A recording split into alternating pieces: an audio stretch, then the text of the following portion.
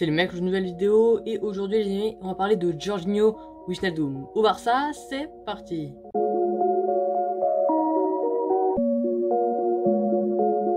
Et oui, en effet, le néerlandais se rapproche de plus en plus du FC Barcelone et il va signer dans le club de la Catalogne. Je vous explique tout dans cette vidéo.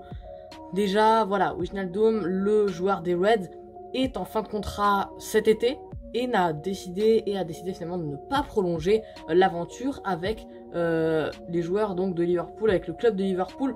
Et c'est pour ça que les rumeurs euh, enflamment la planète football, les rumeurs surtout venant au Barça, l'emmenant au Barça surtout. Pourquoi? Parce que ben, c'est la piste principale, évidemment, un peu comme Memphis Depay, etc. etc. Et c'est pour ça d'ailleurs qu'on entend des choses comme Ronald Koeman va sûrement rester au Barça la saison prochaine, finalement, tout ça. Alors pour moi, les gars, c'était acté, Koeman allait euh, quitter le Barça.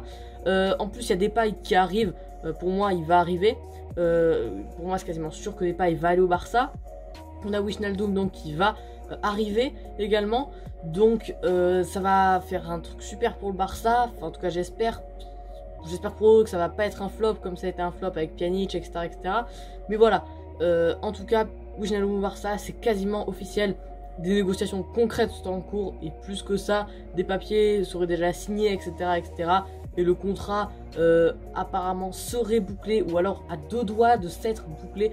Donc en gros dans quelques jours ou quelques semaines, euh, grand max, une, une, ou deux semaines je pense grand max, on a euh, l'officialisation de euh, Wishnaldum au Barça. Bref, ça va être la fin de cette vidéo. J'espère que, que vous aura plu. Les gars, seule chose que je viens de vous dire, c'est salut.